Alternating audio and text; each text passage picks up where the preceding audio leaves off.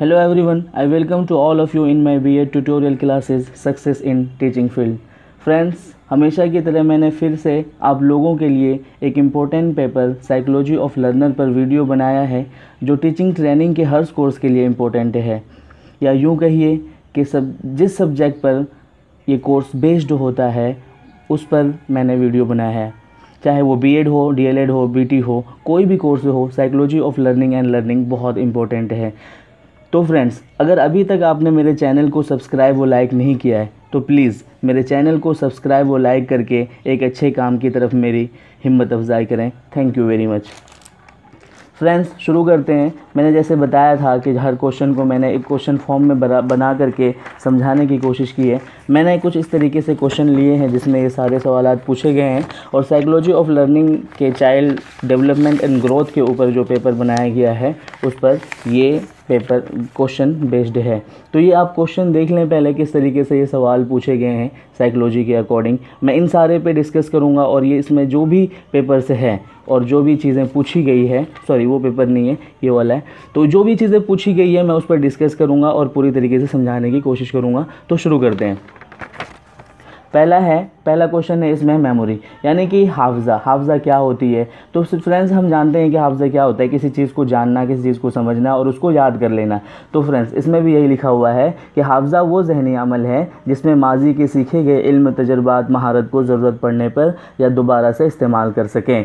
तो फ्रेंड्स ये तो हम जानते हैं कि हाफजा वो होता है कि जिसको हम याद कर लेते हैं अपने दिमाग में, लेकिन नफ्सियात या मनोविज्ञान के अकॉर्डिंग साइकोलॉजी के अकॉर्डिंग हाफजा उसको कहते हैं। इसमें लिखा है, नफ्सियात में लाशोर जहन से शोरी हालत में लाने को हाफजा कहते हैं। लाशोर यानी कि अनकॉन्सियस इसके कहने का मतलब है, नफ्सियात के अकॉर्डिंग अगर इसका डिफिनेशन किया जाए, नफ्सियात के अकॉर्डिंग अगर इसको कहा जाए तो ये है कि इंसान के अंदर दो तरह के माइंड होते हैं। एक होता है अनकॉन्शियस दूसरा होता है कॉन्शियस अनकॉन्शियस का मतलब होता है कि इंसान किसी चीज़ को देखता है और अपने दिमाग में लाता है और फिर वो भूल जाता है, उसको हमेशा की तरह से याद नहीं रखता है। तो वो चीज़ जो है, जब कभी दोबारा से उसको ज़रूरत पड़ती है, कभी उसकी, उस इंसान पर या उस सिचुएशन पर नज़र पड़ती है तो वो दोबारा से अनकॉन्शियस से कॉन्शियस की तरफ़, यानी शोर से लाशोर की, लाशोर से शोर की तरफ़ वो लाने की कोशिश करता है। इसी को हाफजा या फिर मेमोरी कहते हैं।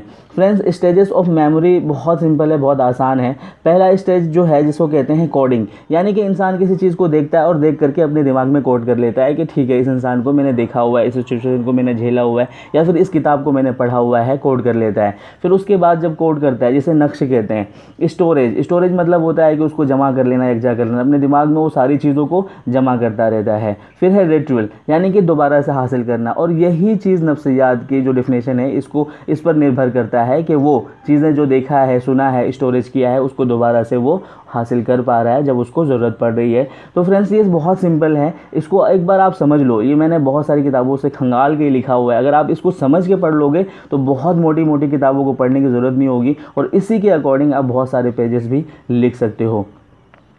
तो दूसरा सवाल है मेथड ऑफ़ मेमोराइजेशन मेमोराइजेशन का मेथड क्या होता है? लोग किस तरीके से मेमोराइज करते हैं? कैसे कैसे याद करते हैं चीज़ों को? किस तरीके से? जैसे होता है सपोज़ दैट कोई फ्रेंड्स जो है, वो देख कर याद करता है, कोई ऑब्जर्वेशन से याद करता है, कोई इंटरव्यू से याद करता है, कोई यद, रट कर याद करता है तो उसी पर यह बनाया, पूछा गया है कि मेथड्स ऑफ़ मेमोराइजेशन क्या क्या होते हैं और किस तरीके से होते हैं।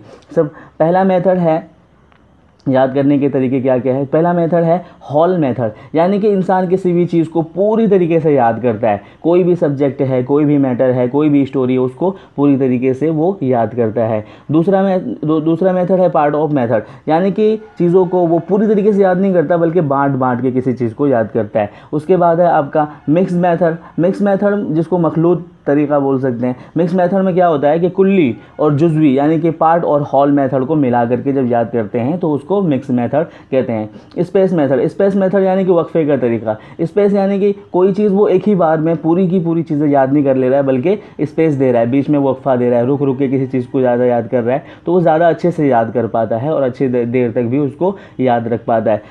उसके बाद है आपका अन स्पेस यानी कि मुसलसल, कोई चीज़ों में वो स्पेस नहीं दे रहा है, बस रटता जा रहा है, याद करता जा रहा है किसी चीज़ को और अपने दिमाग में वो यकजा करता जा रहा है। उसके बाद है एक्टिव मेथड एक्टिव मेथड का मतलब होता है कि कोई इंसान जो है किसी चीज़ को ज़ोर ज़ोर से बोल बोल के रट रट के, कह कह के किसी चीज़ को याद करता है, यानी कि एक्टिवली होकर के, सरगर्म होकर के वो किसी चीज़ को याद करता है, ज़ोर से बोल बोल के याद करता है। Method association of ideas association का मतलब होता है किसी चीज़ को कॉर रिलेट करके, यानी एक चीज़ को दूसरी चीज़ से आइडियाज़ को, एक आइडियाज़ को दूसरे आइडियाज़ से मिला करके वो याद करता है, जिसे तस्वुराती, इरतबाती तरीका बोलते हैं।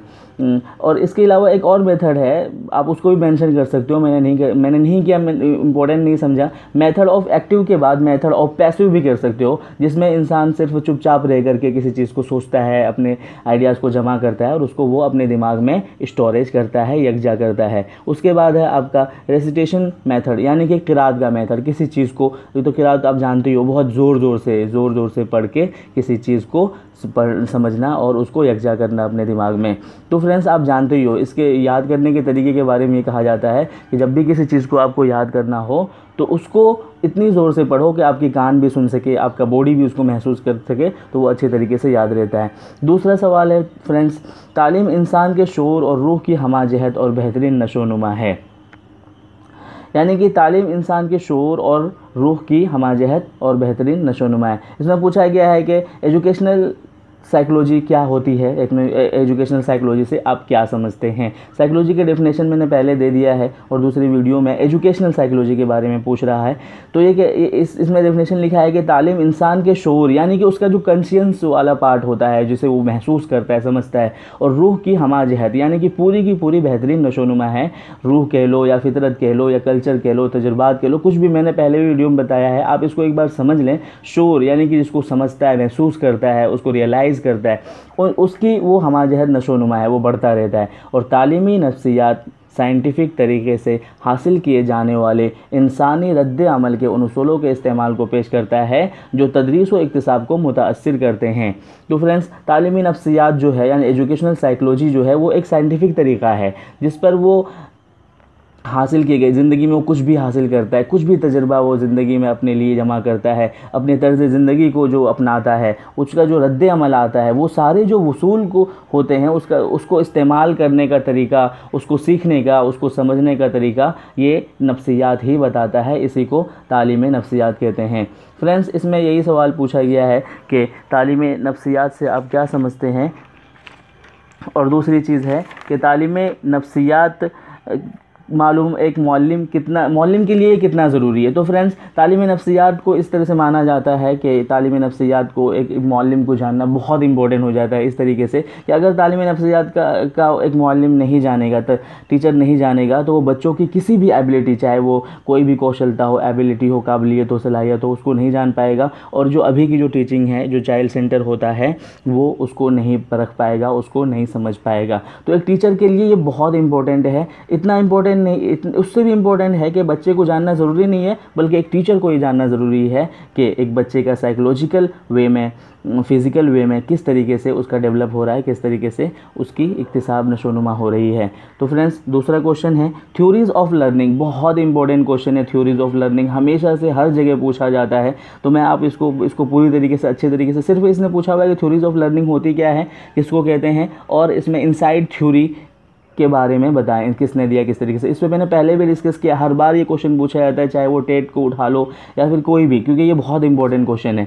तो फ्रेंड्स थ्योरीज ऑफ़ लर्निंग किसको कहते हैं? थ्योरीज ऑफ़ लर्निंग में अगर पहले थ्योरी की बात करो लर्निंग बाय ऑब्जर्वेशन जिसको अल्बर्ट बंदूरा ने दिया हुआ है, जो बहुत इंपॉर्टेंट साइकोलॉजिस्ट है ये अल्बर्ट बंदूरा इसमें होता क्या है कि इंसान जो है किसी चीज़ को रट के नहीं, बल्कि लिख के नहीं, उसको ऑब्जर्वेशन करके, तजुर्बात करके ज़िंदगी में सीखता है। उसके बाद है आपका क्लासिकल कंडीशन थ्योरी जिसे इवान पावलो ने दिया हुआ है। फ्रेंड्स ये बहुत इंपॉर्टेंट भी है, क्योंकि इवान पावलो ने जो जो डॉग पे रिसर्च किया था, डॉग पे, उसके डॉग के डाइजेशन सिस्टम पे जो रिसर्च किया था, किस तरह से डाइजेशन मिलने पर डॉग किसी चीज़ को सीखता है और समझता है और उसके बाद उसके मुँह से लार आती है। आप इसको पढ़ लें मैं इसके इसकी वसात में नहीं जाना चाहता, इसलिए कि बहुत लेंथी हो जाती है वीडियो और मुझे बहुत प्रॉब्लम होती है फिर।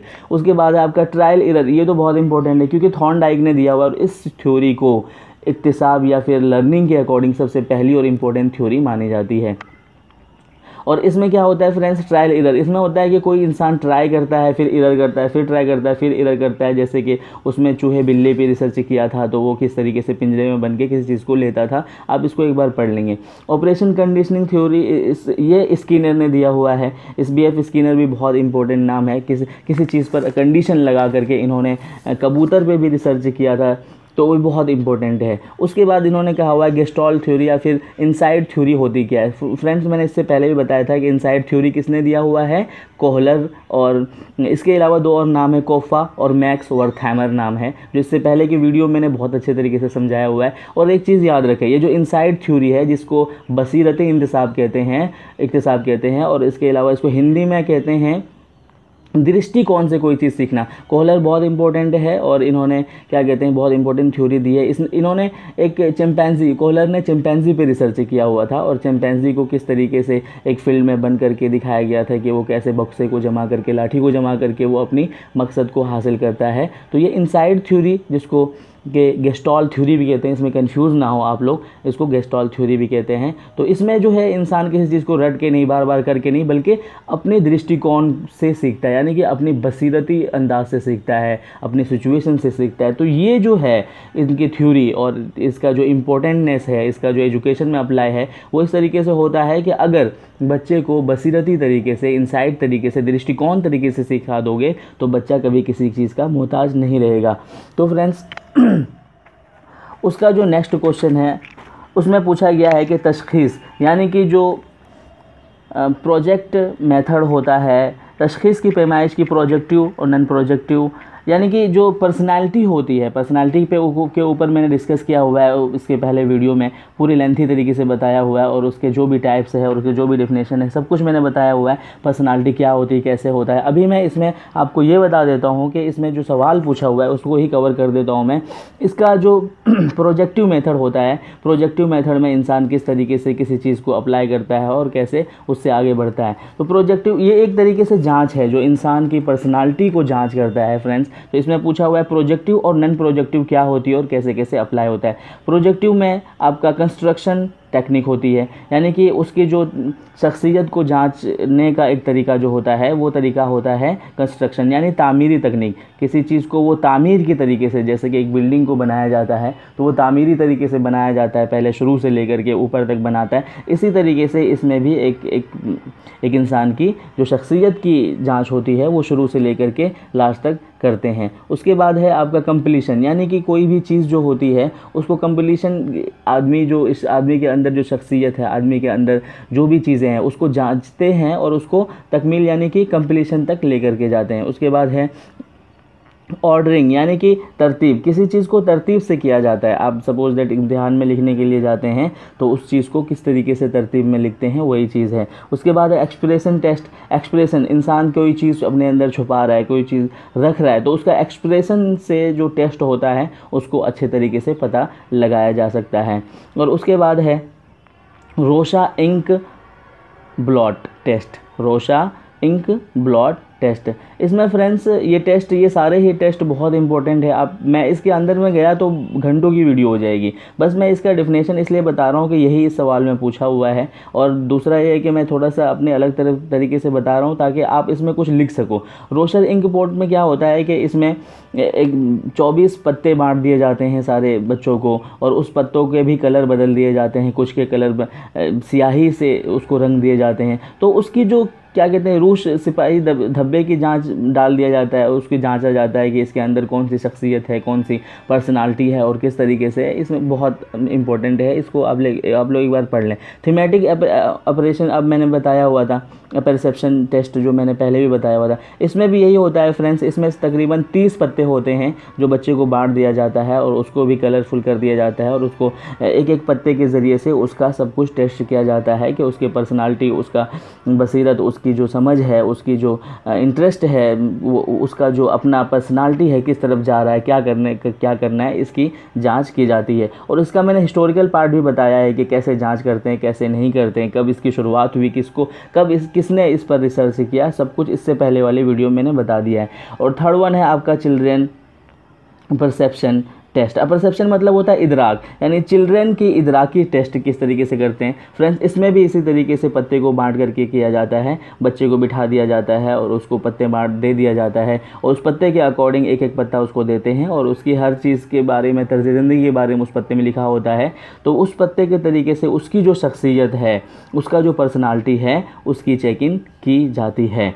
तो न इसी में दूसरा है प्रोजेक्टिव पूछा और non projective non projective method में दो तरीका आता है। एक आता है सब्जेक्टिव दूसरा आता है ऑब्जेक्टिव तो सब्जेक्टिव हम जल्दी से देख लेते हैं।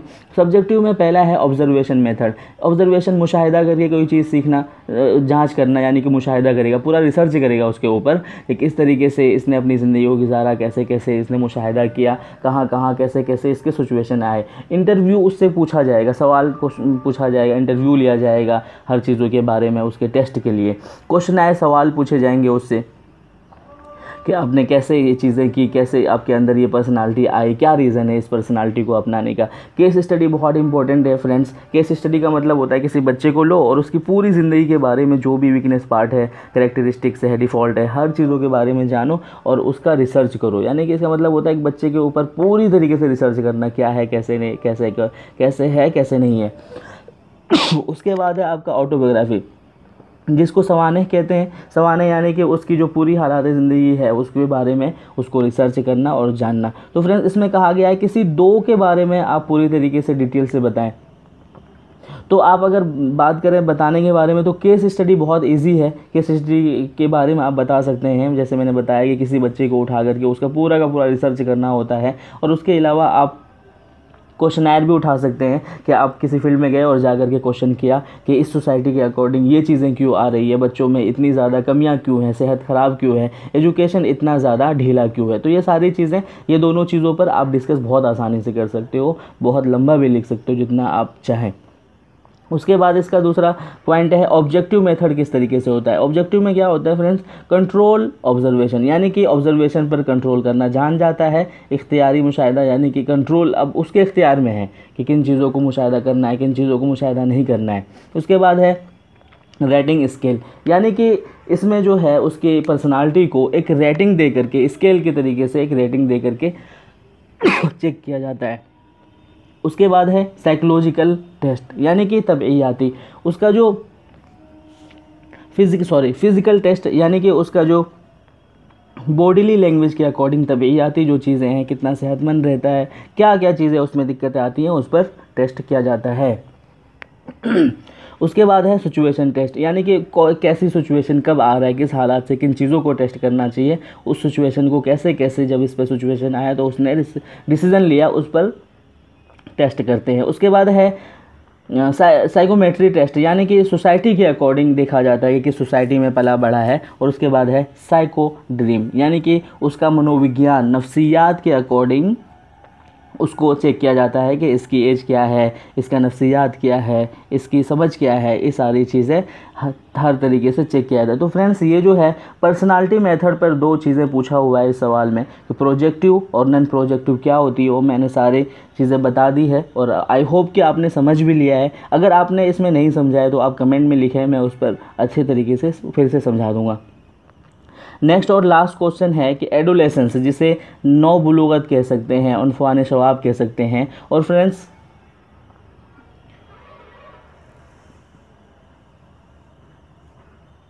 ये देखिए आप, और ये जो नौ बुलूगत की जो एज होती है, वो एज होती है बारह से सोलह साल तक।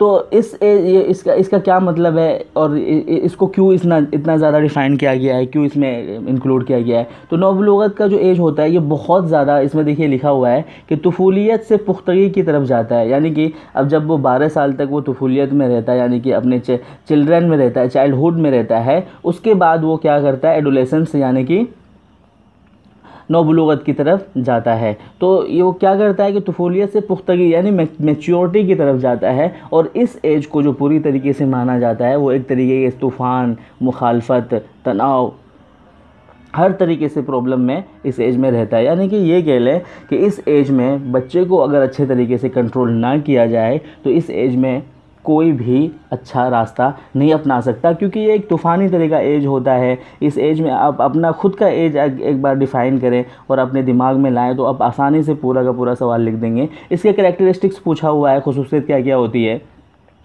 फ़िज़िकल डेवलपमेंट होता है। इस एज में बहुत बहुत अच्छे तरीके से होता है और इस एज में आकर के बहुत ज़्यादा ग्रोथ होने लगती है डेवलपमेंट होने होने लगता होने लगता है। और इस एज में क्या क्या करता है वो बच्चा? मेंटल डेवलपमेंट होता है, फास्ट फ्रेंडशिप आ जाती है, यानी कि फ्रेंडशिप पे ही वो निर्भर होने लगता है, हर चीज़ों में फ्रेंडशिप को लाने लगता है, उसके बाद है फ्रीडम, वो हर तरह की आज़ादी चाहने लगता है और ग्रुप क्रिएट करने लगता है और मुजरिमाना फितरत पेशा का इंतखब करने लगता है। तो फ्रेंड्स, अगर आपको ये चीज़ें समझ में आई है, अगर ये वीडियो अच्छा लगा है तो प्लीज़ आप मुझे एक सवाल का जवाब दें मेरे कमेंट बॉक्स में लिख करके। अगर आपने इसको समझा है तो इस एज के अकॉर्डिंग एक साइकोलॉजिस्ट ने लिखा है कि इस इस एज के अकॉर्डिंग अगर बच्चे को एक अच्छा रास्ता, एक अच्छी रहनुमाई मिल जाए तो बच्चा इस दुनिया के लिए सब कुछ कर सकता है। इस क्वेश्चन का आप जवाब मेरे कमेंट में दें। अगर आपको दिलचस्पी है पढ़ाई से, अगर आपने समझा है कुछ चीज़ों को एडोलेसेंस के एज से तो आप मुझे ये बताएँ किस साइकोलॉजिस्ट ने ये कहा है कि इस इस एज में बच्चे को अगर अच्छे रास्ते पर लगा दिया जाए तो वो बहुत अच्छी चीज़ें हासिल कर सकता है। तो फ्रेंड्स, मैं आई होप कि आपने ये सब सारी चीज़ें समझा होगा। और लास्ट में मैं ये कहूँगा, किसी तरह की इसमें प्रॉब्लम है या किसी तरह की कोई बातें हैं तो प्लीज़ मेरे कमेंट बॉक्स में लिखें और मेरे चैनल को सब्सक्राइब करें लाइक करें और शेयर करें, क्योंकि अच्छी चीज़ के लिए अच्छा ही बदला मिलता है। Thank you very much